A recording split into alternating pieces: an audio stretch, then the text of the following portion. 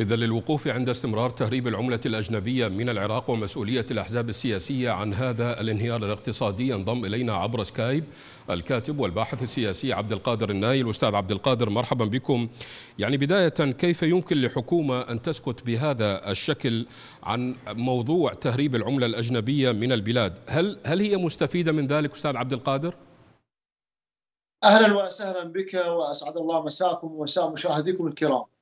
الثابت في العراق أن الحكومة هي التي تساعد على تهريب العملة خارج العراق وهي المحور الأساس في عملية دفع إخراج خزينة العراق والأموال الصعبة أو الأموال الدولية من العراق إلى الخارج وبالتالي هي التي دمرت الاقتصاد العراقي. بدءا من أنها متواطئة في بيع في مزاد العملة ما يقارب يوميا أكثر من 300 مليون دولار. نعم. وبالتالي هذا يعد تواطؤا ممنهجا وعملا متعمدا في افراغ الاحتياط العراقي لأن واردات العراق شهريا من النفط لا تت... يعني لا يمكن أن تتجاوز 4 مليار.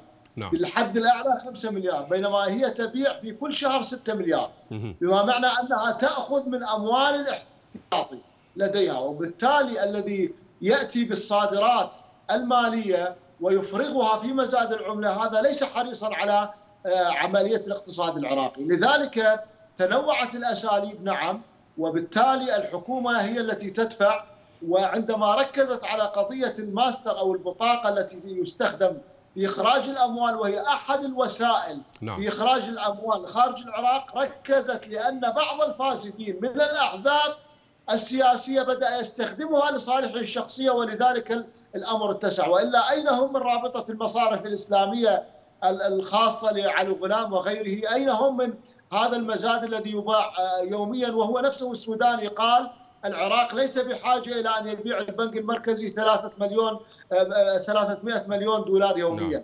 لذلك حقيقة الحكومة هي التي تدفع بانهيار الاقتصاد العراقي لأنها حكومة مدعومة أو مرعية اقليميا وبالتالي طيب أستاذ عبد القادر نعم أستاذ يعني ولكن الأحزاب تعلم تماما خطورة عواقب تهريب العملة على الاقتصاد فضلا عن العقوبات المحتملة من قبل الصندوق الفيدرالي الأمريكي على أي أساس تتعامل الأحزاب في إدارتها للدولة إذن أستاذ عبد القادر؟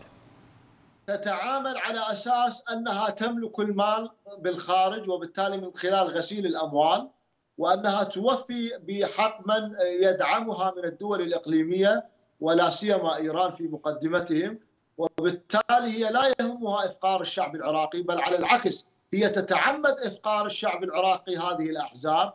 وبالتالي تريد أن تستخدم هذا المال لاحقا بسبب فقر العراقيين في الانتخابات ليكون هذا المال السياسي المسروق من أموال العراقيين هو الأداة في إعادة وجودهم وتدويرهم مرة ثانية لأنهم سيمتلكون المال الذي يشتري فيه الأصوات أو تزور فيه الأصوات بطريقة واضحة، لذلك هم يعلمون ذلك. أما إذا كانت هناك عقوبات أمريكية فهم يعلمون تماما تعاونهم مع الولايات المتحدة الأمريكية ويريدون كسب أكثر وقت ممكن وإذا جاءت هذه العقوبات فهي لن تطالهم وتطال أموالهم التي غسلوها خارج العراق.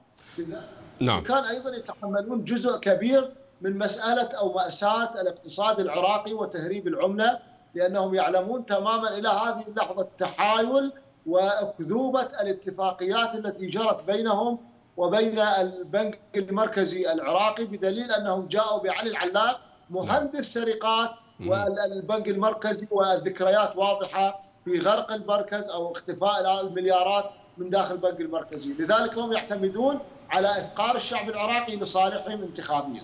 لو وضعنا إصبعنا على الجرح وتحدثنا عن أس المشكلة هذه البنية الاقتصادية الحالية لماذا تتواصل بهذا الشكل ويأبى الإصلاح؟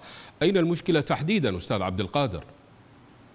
المشكلة تتعلق في إطار النظام الاقتصادي للعملية السياسية الحالية، فهو نظام عشوائي لا يمتلك أي مرحلة من مراحل الحفاظ على الاقتصاد العراقي، لأنه من يريد أن يحافظ على الاقتصاد لابد أن تكون لديه احتياطيات حقيقية من الذهب اولا ومن ثم من تنويع مصادر الدخل وبالتالي عندما يكون هناك استيراد أو العملة الصعبة التي يكون أساسها بيع النفط مقابل الدولار لابد أن يكون الداخل إلى صندوق أو إلى البنك المركزي العراقي أكثر بكثير أو أكثر من 50% من الذي يخرج من البنك المركزي العراقي. نعم. هنا حقيقة لا توجد هناك أي شفافية في هذا الموضوع، لذلك هم يعتمدون على سياسة العشوائيات بدليل على أن المنافذ الحدودية إلى هذه اللحظة ريعها لا يصل إلى وزارة المالية أو إلى بنك المركز العراقي فقط يعتمدون على النفط وهم يبيعونه يوميا من خلال الشهر أو الواردات خلال الشهر الكامل تباع يوميا بالتقسيط المريح. لذلك من يرهن اقتصاده إلى الخارج ولا سيما إيران آه، بالتالي لا يمكن أن يمتلك رؤية حقيقية لبناء اقتصاد، لذلك نحن لا نمتلك سيادة اقتصادية في العراق حتى يمكن أن يكون هناك وضعا اقتصاديا يمكن إصلاحه، فلا يوجد هناك أي ملامح لا للإصلاح ولا لعملية التقويم للمحافظة على الاقتصاد العراقي بل بالعكس هم يوغلون بالمال العراقي سرقة ومن ثم يضعونه أمام الدول الراعية للفساد وبالتالي إيران تستفيد من المال العراقي بشكل كبير تماما. ولولا الدولار الذي يؤخذ من خلال البنك المركزي العراقي عبر عدة طرق أبرزها شراء العملة وتهريبها لانهارت إيران اقتصاديا بشكل كبير.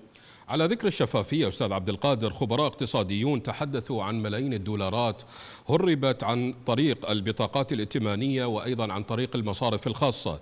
يعني أين الأجهزة الأمنية من عمليات مراقبة تهريب الأموال اذن؟ اولا من يسيطر على الأجهزة الأمنية سوى هذه الأحزاب والميليشيات المسلحة نعم. وتعلم ويعلم المشاهد الكريم أن هذه الميليشيات والأحزاب تعمل لصالح دول على حساب العراق وهي أس المشكلة بدليل أنها تسيطر على المنافذ الحدودية والمنافذ الحدودية غير خاضعة للحكومة بالمطلق وبالتالي لا يمتلك أي السلطات الحكومية أو الأجهزة الأمنية نفسها السيطرة على هذه المنافذ الحدودية. وبالتالي هناك تواطؤ كبير من قبل الأجهزة الأمنية في عملية التحايل وتهريب العملة.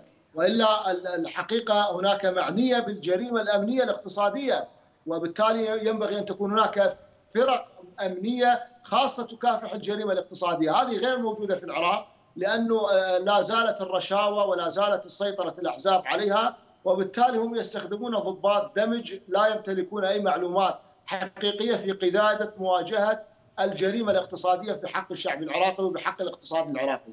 لذلك لا توجد لدينا حقيقة قوات أمنية حقيقية تحافظ على الاقتصاد متعاونه مع هذه الجريمة الاقتصادية المنظمة التي تستهدف الاقتصاد العراقي بشكل كبير وواسع.